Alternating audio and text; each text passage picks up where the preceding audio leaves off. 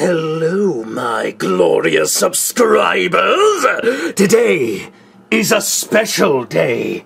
Today, I shall suffer for charity.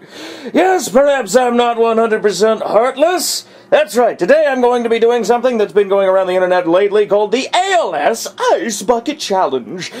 Oh, I'm not looking forward to this whatsoever, but you know what?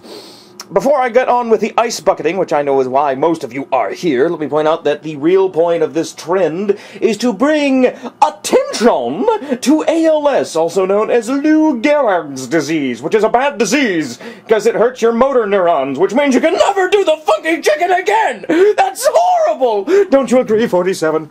47 is not pleased. And neither is Darth Vader. Anyway, ah, so I'm going to have to go through this, and this is going to be extremely painful. Might as well get out of the way. I have with me over here a, uh, not really a bucket, a trash can. Not sure if you can see the ice in there because it's dark, but uh, you can hear it, I'm sure. Can you see the lights? Uh, maybe not. There's a lot of ice in there. Oh boy. Anyway, oh, this is going to be painful. I can do this. All right, I'm ready. One second.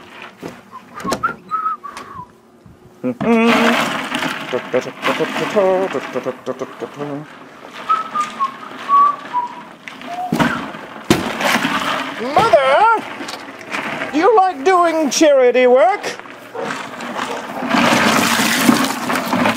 I challenge Alex the Autarch, Angry Joe from the Angry Joe Show, and finally, KZX, aka Goddammit Joel.